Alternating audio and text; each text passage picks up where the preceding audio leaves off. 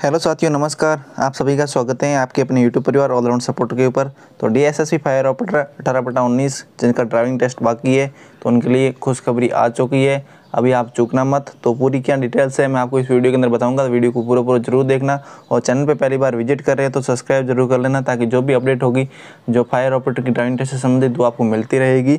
तो शुरू करते हैं आज के इस वीडियो को। ये वीडियो आपके लिए बहुत ही इंपॉर्टेंट होने का, होने वाला है कि ये जो आपका ड्राइविंग टेस्ट है, वो कौन करवाएगा और कब करवाएगा, ये ऑफिशियली नोटिस आ गया तो चलता हूँ आपके नोटिस के ऊपर और इससे पहले मैं आपको बता देता हूँ, आपका जो ड्राइविंग टेस्ट होगा, उसके लिए जो उसमें बीस अंक की थ्योरी होगी, वो थ्योरी में से बारह अंक आपको लाने ज़रूरी हैं।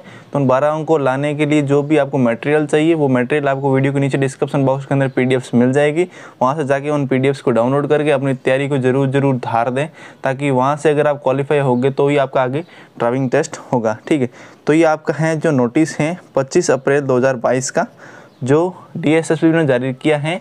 और फायर ऑफिसर से पूछा है। मैंने पहले भी कहा था कि फायर ऑफिसर के ऊपर डिपेंड करेगा कि ड्राइविंग टेस्ट कब करवाएँगे, ठीक है? आपके फायर ऑफिसर जो भी होंगे, उन्हीं के ऊपर डिपेंड करता है कि वो अपना ड्राइविंग टेस्ट कब करवाएँगे। तो डी एस ने उनसे पूछा है 25 अप्रैल 2022 से, अभी से पाँच से सात दिन पहले। तो मेरा क्या है कि विकास, ग्राम विकास अधिकारी और सेकंड ग्रेड का जो प्रिपरेशन था और कुछ प्रोजेक्ट के ऊपर वर्क चल रहा था तो सोचा कि थोड़ा लेट हो गया वीडियो देने में आपको। तो जो है द चीफ फायर ऑफिसर को इन्होंने पूछा है to the chief fire officer Delhi fire services NCT Delhi के? तो इन्होंने पूछा कि subject conducting driving skill test for post post of the fire operator post code अठारह बटा उन्नीस, के उन्होंने कहा है कि आपका जो है जो अठारह बटा उन्नीस का है, उनकी ड्राइविंग टेस्ट कब करवा रहे हैं, इससे संबंधित उन्होंने पूछा है और इन्होंने पहले, इनसे, इससे पहले भी इन्होंने इनको नोटिस दिया था, उन्होंने अभी तक कोई फायर ऑफिसर ने डीएसएसपी को कोई अभी तक रिस्पांस नहीं दिया, इसलिए अभी वापस पूछ रहे हैं।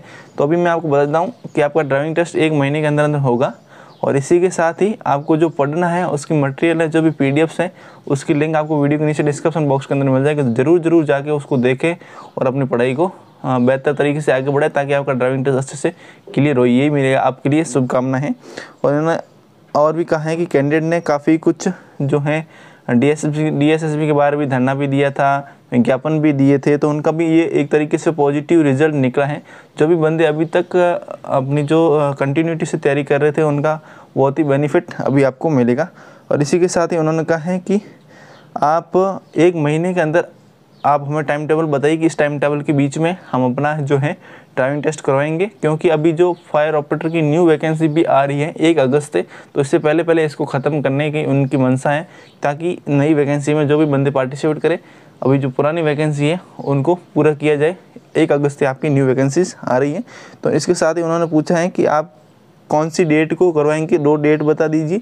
अगर आप एक जगह करवाएँगे या दो जगह करेंगे, उन्होंने वेन्यू भी पूछा है कि वेन्यू आप कौन सा लोगे, आपकी कौन सी जगह है और इसी के साथ आपके रिपोर्टिंग टाइम क्या रहेगा और एक शिफ्ट के अंदर आप कितने जो स्टूडेंट्स का ड्राइविंग टेस्ट करवा सकेंगे, उससे संबंधित जो है डी एग्ज़ाम जो सेक्रेटरी हैं, उन्होंने फायर ऑफिसर से ये जानकारी मांगी है ताकि आगे जो है डीएसएसबी नोटिस जारी कर सके कैंडिडेट को बता सके कि आपका ड्राइविंग टेस्ट इतने से इतने बजे के बीच में, इतने से इतने तारीख के बीच में होगा। तो यही आपके लिए एक सूचना थी।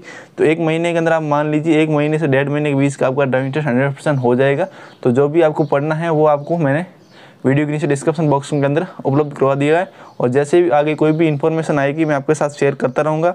मिलेंगे अगले इंटरेस्टिंग वीडियो के अंदर। तब तक के लिए जय हिंद, वंदे मातरम।